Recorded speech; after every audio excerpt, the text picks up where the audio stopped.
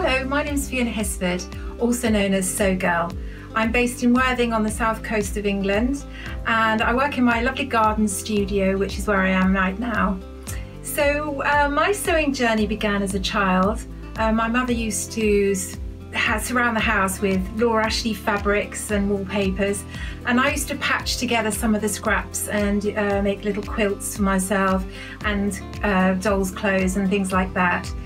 So one of my top tips in dressmaking would be to definitely make a toile before you start. Uh, sometimes uh, if you're using expensive fabric, it's a good idea to make some make the garment in a sheet or a cheap fabric just so that you're absolutely sure of the fit. An interesting fact about me is that I used to be a knitwear designer back in the 80s and once I made a jumper for the singer Sade, which was really exciting.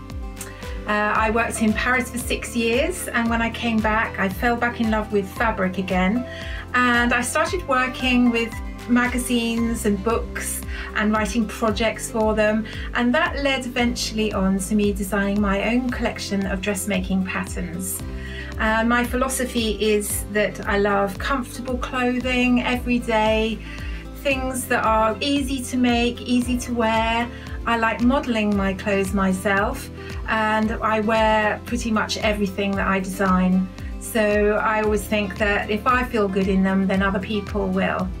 I've been working for Sewing Street since it's since almost since it began, and I love it there. We're like one big family, and I'm on the show about every two months. Two months, and so I look forward to seeing you on the next show soon.